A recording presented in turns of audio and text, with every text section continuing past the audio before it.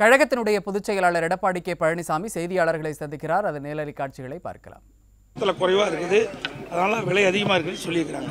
ஆட்சியில ஆட்சியில இருக்கும்போது வந்து இழிவா பேசுறதும் அதே போல எதிர்க்கட்சி தலைவர் ஆயிட்டா கபட நீலிக்கணி வடிப்பதும் வேடிக்கை ஆயிருச்சு எடப்பாடிக்குன்னு சொல்லிட்டு திமுக ஒரு அறிக்கை விட்டு எந்த அடிப்படையில் நீங்க கேள்வி கேட்குறீங்க அது திமுக சொல்லுங்க. அறிக்கை எந்த அடிப்படையில் விட்டாங்கன்னு அதை நீங்க சொல்லுங்க. அப்பதானே அதுக்கு பதில் சொல்ல முடியும். அதையே வேணுமெனே திட்டமிட்டு எதிர்க்கட்சியை சேர்ந்தவர் வேற வழி இல்லை பேசுறதுக்கு.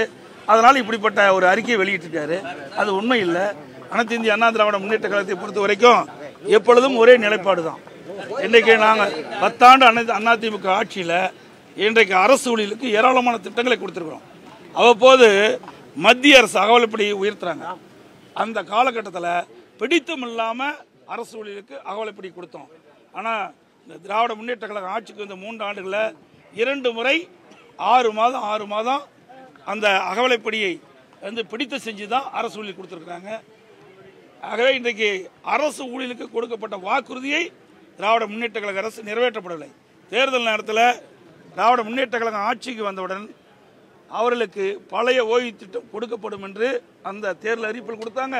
தேர்தல் பரப்புரையில் வெளியிட்டாங்க. ஆனால் இதுவரைக்கும் பழைய ஓய்வு திட்டத்தை நடைமுறைப்படுத்துவோம் என்று திமுக அரசு அறிவிக்கவில்லை திரு ஸ்டாலின் அறிவிக்கவில்லை.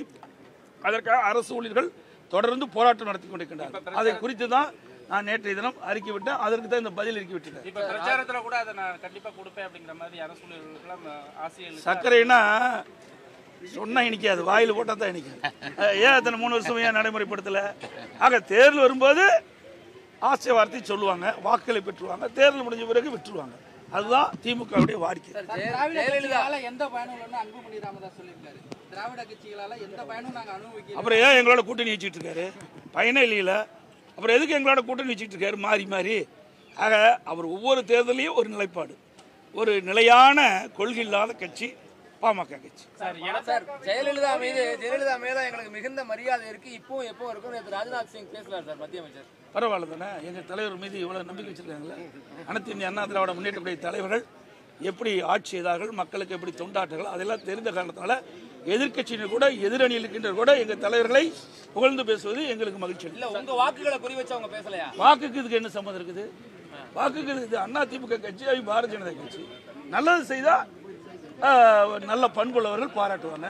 அந்த நிலையில் அவருக்கார் பாராட்டியிருக்காரு. நல்லா செஞ்சா உங்களால சார் பாராட்டு உங்க தலைவர்களை பாராட்டுறாங்க. ஆமாங்க மறைந்த தலைவர் தானே பாராட்டுவது மரபு. மறைந்த தலைவர் தானே பாராட்டணும். இன்னைக்கு அவர்களை நாங்கள் இருக்கிறோம் எங்களை அவர்கள் இருக்கிறாங்க எப்படி எங்களை பாராட்டுவாங்க? சார் முதல்வர் பிரச்சார கூட்டத்தில் பேசும்போது எடப்பாடி பழனிசாமி அவங்க அதிமுக குத்தகைக்கு எடுத்திருக்கிறாரு அப்படிங்கிற மாதிரி பேசுறாரு. அப்படி அவருடைய கட்சி குத்தகைக்கு எடுத்திருக்காரு. இன்னைக்கு திமுக வந்து அது ஒரு கார்ப்பரேட் கம்பெனி அவளுக்கு பழக்க வள தோசை விடாது. நாங்கள் அப்படி இல்லை. நான் ஏற்கனவே எல்லா பொதுக்கூட்டிலையும் சொல்லிட்டேன். நான் ஒரு தொண்டன் தலைவர் கிடையாது. அவர்கள் போல குடும்ப வாரிசு அரசியல் அண்ணா திமுகவில் இல்லை. நூறு சதவீதம் பாருங்கள் இந்த வரலாறு பாருங்கள் புரட்சித் தலைவர் எம்ஜிஆர் அதுக்கு பிறகு அம்மா அதுக்கு பிறகு என்னுடைய கழக நிர்வாகிகள் தொண்டர்கள் தலைமைகள் என்னை இந்த ஒரு வாய்ப்பு கொடுத்துருக்காங்க. எனக்கு பின்னால் ஏதோ ஒரு தொண்டை இந்த கட்சிக்கு பொதுச்செயலாளர் வருவார். ஆனால் திமுக அப்படிப்பட்ட நிலைமை இருக்குமா? கிடையாது. அவர்கள் தான் குத்தகைக்கு எடுத்து நடத்துகின்ற கட்சி திமுக கட்சி. அந்த பழக்க தோசை அவர் சொல்றாரு. இங்கேயும் நிறைய வாரிசுகளுக்கு வாய்ப்பு கொடுக்கப்பட்டிருக்கலாம் சார் இப்போ. அதாவது ரெண்டு புரிஞ்சுக்கணும்.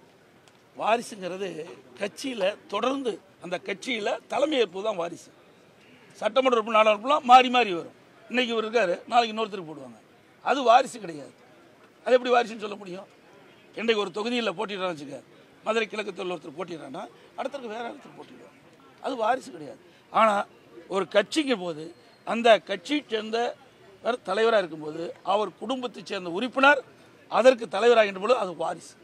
அது அப்படிப்பட்ட கட்சி திமுக கட்சி. சார் ஒரு மனுஷன் போய் ஏகத்துல பேசக்கூடாதுன்னு சொல்லி ஸ்டாலின் உங்களை தொடர்ந்து விமர்சனம் பண்றாரு. நான் என்ன போய் பே- நான் தெளிவாக எல்லா பொதுக்கூட்டிலையும் சொல்லிட்டேன். நான் என்ன போய் பேசுறேன்னு அவர் விளக்க வேணும்.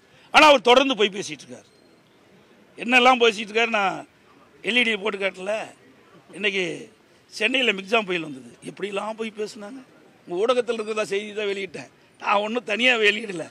உங்கள் ஊடகத்தில் படம் பிடிக்கப்பட்டு தொலைக்காட்சியின் வாயிலாக வெளியிடப்பட்ட செய்தியே எல்இடியில் தெரிவித்தேன் ஒவ்வொரு அமைச்சரும் ஒன்று சொல்கிறாங்க அதில் முதலமைச்சர் சொல்கிறாரு அந்த மழைநீர் வடிகால் வசதி தொண்ணூத்தொம்பது சதவீதம் முடிஞ்சு போச்சுங்கிறார். எல்லாம் மழை பெஞ்சு மக்கள்லாம் பாய்ச்சி பிறகு அதே துறை த- அமைச்சர் முப்பத்தெட்டு சதவீதம் முடிஞ்சிருக்காரு. இதுதான் பச்சை பொய். திமுகவை பொறுத்த வரைக்கும் நான் மேடையேறி பேசினதில் இது வரைக்கும் எந்த பொய்ன்னு சொல்லுங்கள் அதுக்கு நான் விளக்கம் சொல்கிறேன் அது தெளிவாக சொல்லிட்டு மேடையிலே. ஆனால் அவர் என்ன தேர்தல் நேரத்தில் ரெண்டு சட்டமன்ற தேர்தல் போது ரெண்டாயிரத்தி இருபத்தொன்று சட்டமன்ற பொது தேர்தல் போது ஐநூற்றி இருபது அறிவிப்புகளை வைத்தார் தொண்ணூத்தெட்டு சதவீதம் நிறைவேற்றிருக்கிறார் அது பொய் தானே? பேச மாட்டேங்கிறீங்களா? ஊடகம் பத்திரிகை மூலம். எவ்வளவு திட்டங்கள்? நீங்க தானே இந்த ஐநூத்தி இருபது அறிவிப்பு வெளியிட்டீங்க ஊடகத்தின் வழியில. அதுல எவ்வளவு நிறைவேற்றி உங்களுக்கு தெரியும். இந்த கேள்வி அவர்கிட்ட கேளுங்க. மிகப்பெரிய பிரகாசமா எழுச்சி இருக்குது. அனைத்து இந்திய அண்ணா திராவிட முன்னேற்ற கழகம் எங்கள் தலைமையில் அமைக்கப்பட்ட கூட்டணிகள் தமிழகத்தில் முப்பத்தி ஒன்பது இடங்களில் வெற்றி பெறும் பாண்டிச்சேரியிலும் வெற்றி பெறும்.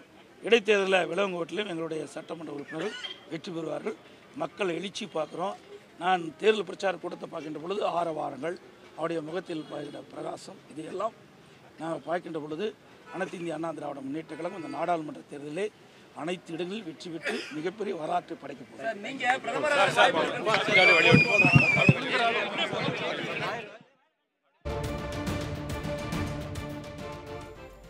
அதிமுக பொதுச் செயலாளர் எடப்பாடி கே. பழனிசாமி செய்தியாளர்களை சந்தித்து பல்வேறு கேள்விகளுக்கு பதிலளித்தார். அந்த காட்சிகளை நாம் நேரலையில் பார்த்தோம்.